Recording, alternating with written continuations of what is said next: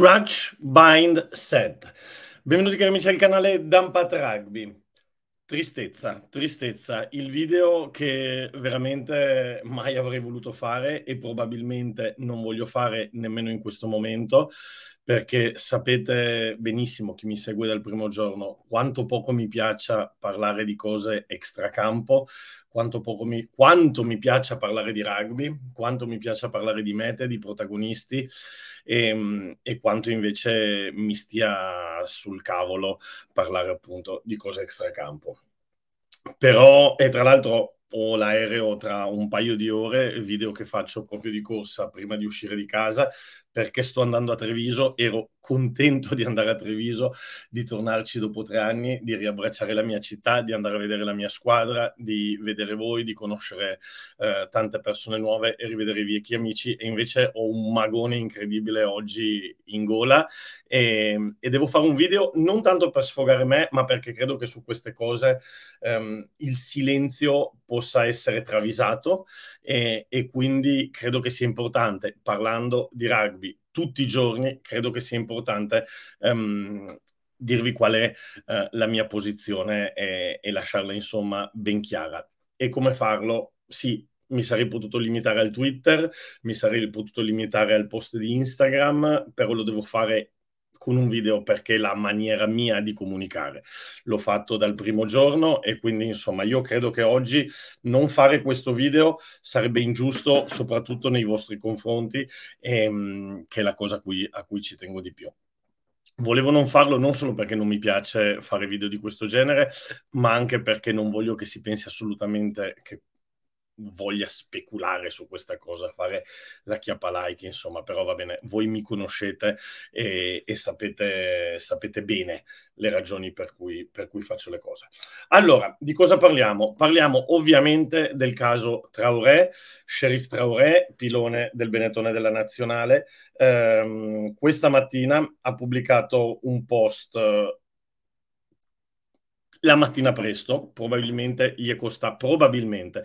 Um, tutto quello che io dico eh, è con il beneficio del, del, del, condizionale, perché ovviamente non ero presente e quindi mi baso su quello, uh, sui dati e quindi sui fatti, su quello che si conosce. Sicuramente la cosa sicura è che Sheriff Traoré ha pubblicato un post um, gravissimo, gravissimo per i fatti che gli sono accaduti, ovviamente non perché lui lo abbia pubblicato, e che dice le seguenti parole, probabilmente, anzi quasi sicuramente molti di voi lo sanno, però lo rileggo velocemente. Sta arrivando Natale e come la tradizione in squadra è il momento del Secret Santa, un momento conviviale e scherzoso, un momento dove ti puoi permettere di fare regali anonimi ai tuoi compagni, di quelli anche pungenti, ironici. Ieri, quando è stato il mio turno, all'interno del mio regalo ho trovato una banana una banana marcia dentro un sacchetto dell'umido. Oltre al fatto di reputare il gesto offensivo, la cosa che mi ha fatto più male è vedere la maggior parte dei miei compagni presenti ridere, come se tutto fosse normale. Sono abituato, o meglio, mi sono dovuto abituare a dover fare buon viso a cattivo gioco ogni volta che sento battuta a sfondo razzista, per cercare comunque di non inimicarmi le persone vicine. Ieri è stato diverso però, fortunatamente alcuni compagni, soprattutto stranieri, hanno cercato di supportarmi. Fuori dall'Italia un gesto come questo è condannato gravemente anche all'interno di piccole realtà e questa volta voglio dire la mia. Non ho dormito tutta la notte. A questo Secret Santa erano presenti anche ragazzi giovani di origini diverse. Ho deciso di non stare in silenzio questa volta per fare in modo che episodi come questo non succedano più, per evitare che altre persone si ritrovino in futuro nella mia situazione attuale e sperando che il mittente impari la lezione. Pensate, questo post lo ha messo Adesso sono le 4, qua Instagram mi dice 6 ore fa, quindi immagino verso le 9-10 di mattina, magari prima di andare all'allenamento. E, um, immaginate eh, quanto dolore doveva avere nel cuore Sheriff per mettere questo post. E, um, e quindi ho intitolato questo, questo video Coraggio e tristezza, perché il primo pensiero che mi è venuto in mente è stato cazzo che coraggio è stato ancora prima di pensare alla parte negativa, mi è piaciuto pensare a quella positiva, cioè a dire, eh, e l'ho scritto poi anche in Twitter, ho, ho detto e in Instagram, io ho sempre pensato che eh, la qualità più importante e immancabile in qualsiasi rugbista è il coraggio. Um, già solo il fatto di mettersi gli scarpini e giocare il nostro sport richiede una bella dose di coraggio. Um, il coraggio di magari non seguire la corrente, no? Uh, già il fatto di scegliere appunto il rugby eh, vuol dire scegliere qualcosa di diverso. Um, in più il coraggio in campo, caspita, cioè affrontare dei bestioni che ti arrivano a 400 all'ora e andare a placarli, ehm, eccetera, eccetera, eccetera. Adesso non mi voglio concentrare su questa, su questa, parte. Bene, il coraggio ovviamente non lo puoi avere solamente dentro il campo, lo devi avere anche fuori. E Sheriff Traoré eh, questa mattina ha dimostrato di averne tonnellate, di averne una quintalata, perché pensate nell'essere dentro un gruppo... Ehm, ti stai allenando, magari per giocare il derby, magari per uh, vivere qualche altra avventura con la nazionale italiana, eccetera, eccetera, eccetera, e, e, e decidere, decidere, di esternare al mondo intero, sapendo che eh, ovviamente verrai strumentalizzato, che ovviamente um, non c'è chi aspetta altro per, darle, per darne giù al rugby, eccetera, eccetera, sapere quello che accadrà, però avere il coraggio di esporre i propri sentimenti invece di mangiartelo. Eh, insomma, complimenti, anche perché poi questo coraggio aiuta tante altre persone. Aiuta tante altre persone, difatti lui stesso lo dice, ehm, spero che questo messaggio serva a limitare in futuro questo tipo di comportamenti e, e l'ha fatto anche e probabilmente soprattutto per i suoi compagni, per i suoi compagni di squadra. Quindi complimenti Sheriff, veramente, complimenti grande, complimenti grandissimo.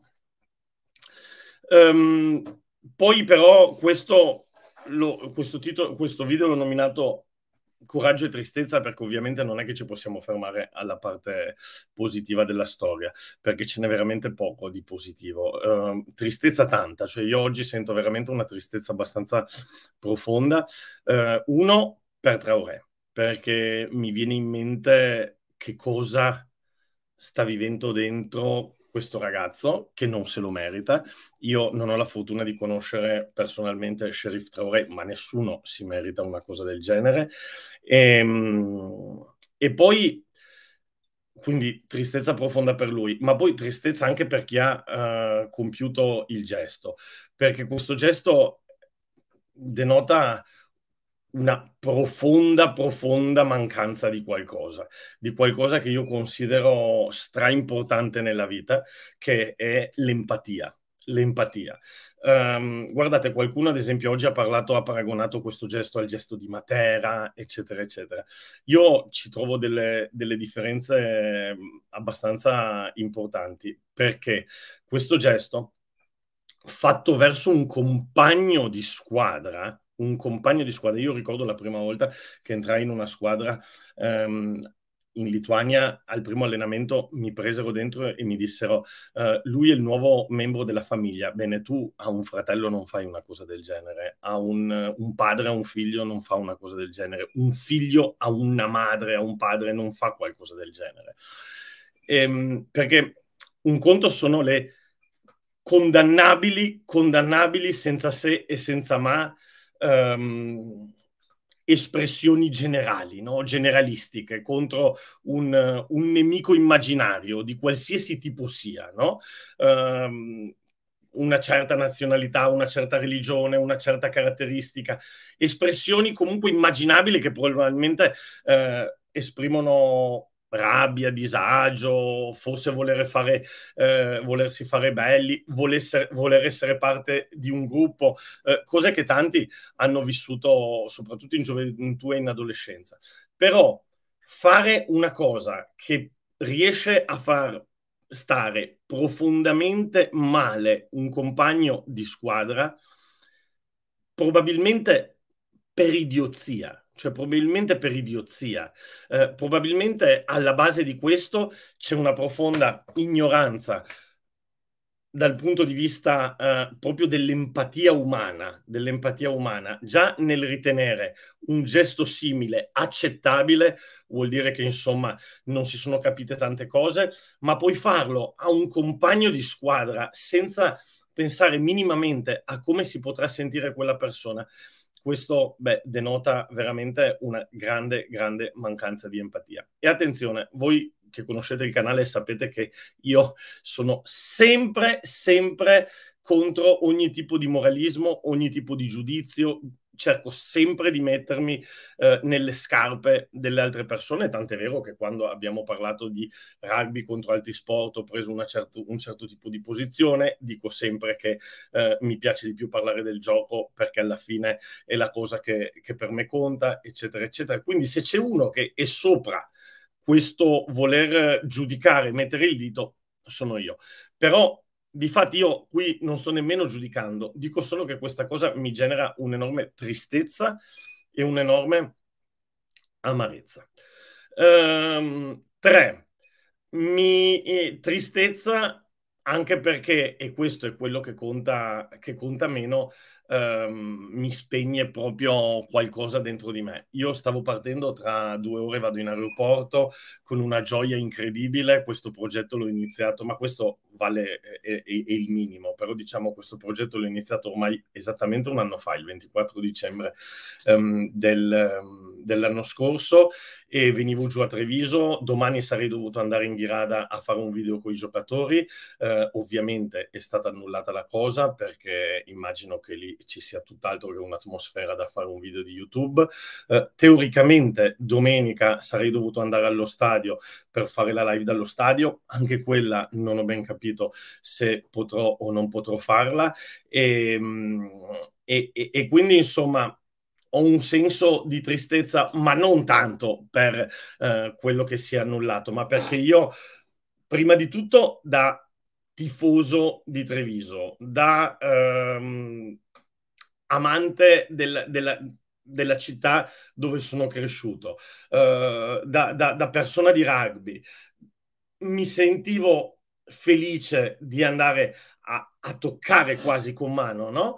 um, i, miei, i, miei, idoli, dai, eh, anche se eh, tanti li ho, ho, avuto la fortuna di conoscerli eh, quantomeno così in maniera digitale ed ero felice, no? Ero felice, ho detto, avevo coinvolto mio figlio, avevo coinvolto un sacco di cose e alla fine eh, questo non si riesce più a fare e quindi insomma questo crea un, una tristezza. Però il mio problema è eh, irrilevante rispetto al, a quello che è accaduto e a quello che questo, questo fatto genera. Prima di tutto in Sheriff Traoré e poi il danno anche alla società Benetton e al mondo del rugby.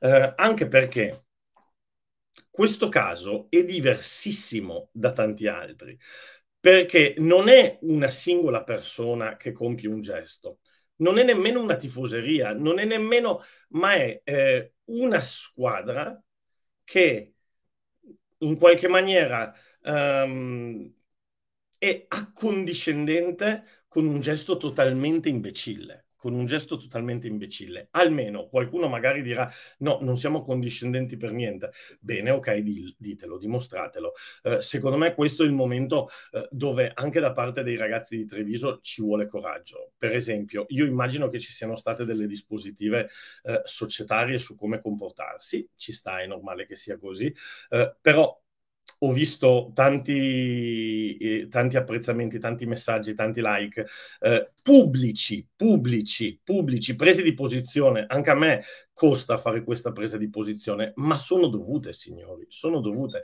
Sul messaggio di Sheriff Traoré da compagni suoi della nazionale, ehm, all'estero, alle zebre, eccetera, eccetera non mi sembra fino, fino, al momento di oggi, ma sicuramente sbaglierò, ehm, che ce ne siano dei compagni del Benetton.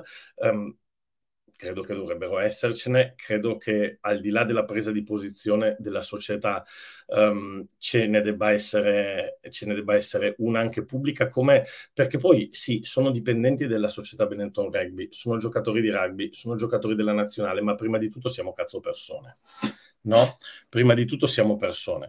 Quindi io credo che se tu sei una, un personaggio pubblico, tu abbia abbastanza il dovere di prendere posizione in questi casi e, e mi spiace di farlo anche abbastanza in fretta, perché, perché non è veramente accettabile. E poi, infine, l'ultima tristezza e perché appunto, essendo una cosa non di un singolo, ma di un gruppo, sono sicuro che farò fatica, almeno per un po' di tempo, um, a guardare con gli stessi occhi il Benetton. Voi sapete quanto io gridi i, le mete del Benetton, quanto mi arrabbi, quanto gioisca, quanto rida, quanto scherzi. Che, eh, a volte arrivo quasi perfino a piangere in alcune situazioni e, e insomma mi ha, mi ha, proprio scaricato di entusiasmo questa cosa che è successa e, e già sabato, già sabato vediamo, ma eh, credo che eh, farò fatica farò fatica. E, e, sapete quanto è importante eh, ho dietro la maglietta del Benetton non per caso la maglietta della nazionale. E insomma praticamente in questo canale ho fatto un video sul Benetton quasi ogni giorno. E, insomma bene quindi questi sono i miei sentimenti, volevo semplicemente condividerli con, uh, con, la community, che per me resta la ragione più importante per cui faccio questo canale. Infine, un messaggio ai ragazzi, un messaggio ai leoni. Uh, io sono un signor nessuno, quindi magari non ve ne frega niente di quello che dico io, però secondo me ragazzi eh, avete eh, commesso collettivamente... Um, un, un, grande errore, un grande avanti, un grande eh, fuorigioco, un placaggio alto, un qualcosa cui, eh, da cui bisogna ripartire in un'altra maniera. E, e, quando dico ripartire in un'altra maniera, come ogni placaggio, no? come ogni partita buttata al cesso, come ogni cosa, bisogna in qualche maniera rialzarsi. No? Il rugby è questo che ci ha insegnato, a, a, rialzarsi e a essere coraggiosi, essere rugbisti dentro e fuori dal campo. E allora io veramente... Um, vi invito a esserlo, a esserlo sia internamente che esternamente. Mi spiace, ma questa volta non ci si può rintanare semplicemente dentro uno spogliatoio, eh, per quanto sia importante a volte fare gruppo, no? Ma io credo che vadano prese delle... Mm, che, che bisogna che serva uscire e fare un passo avanti. Credo che serva uscire e fare un passo avanti, ma farlo non con iniziative simboliche, farlo di cuore, dire veramente di cuore cosa sentite dentro e cosa pensate, perché la comunicazione non è solamente un teatrino e qualche dichiarazione di comodo. Um, comunicare per uno sportivo, per un personaggio pubblico, significa creare un filo, creare empatia, intercettare il pensiero dei tifosi, della gente che vi ama, dei bambini che vengono, dei bambini che vengono con le magliette bianco-verdi allo stadio. Ma veramente voi, pensa, voi volete che quei bambini lì pensino che siete un gruppo di razzisti? Beh, insomma, o, o anche un gruppo di imbecilli, o anche che pensino che siete un gruppo di imbecilli. Non, io credo che non lo siate, credo che siate, siete dei leoni, siete coraggiosi. Um, qualcuno di voi ho avuto la maniera di parlare un po' di più, con qualcuno un po' di meno, ma vi sostengo e vi guardo tutte le settimane e, e mi piacerebbe veramente che ci sia una reazione di gruppo, ma anche individuale, perché non siete solo una squadra, siete un gruppo di 60 individualità. Quindi, come io, Danilo Patella, ognuno nel suo modo, ma come io mi sono sentito di dover dire quello che sento nel cuore, io credo che tutti voi dovreste in qualche maniera fare la stessa cosa, uh, sia come squadra, se, perché a volte è facile nascondersi come squadra, ma farlo sia come squadra, ma eh, farlo ovviamente con Sheriff, ma immagino che la gran parte di voi lo abbia già fatto, spero, ma anche farlo individualmente, cioè, cazzo, avere il coraggio di fare un passo avanti, avere il coraggio di fare un passo avanti. Bene, questo è il, è il mio pensiero, può essere condiviso, meno condiviso, ho cercato di metterlo... Um, di esprimerlo con maggior chiarezza possibile, eh, col cuore e per il resto, solito fischio finale. Un bacio, ci vediamo, ci vediamo presto. Ciao!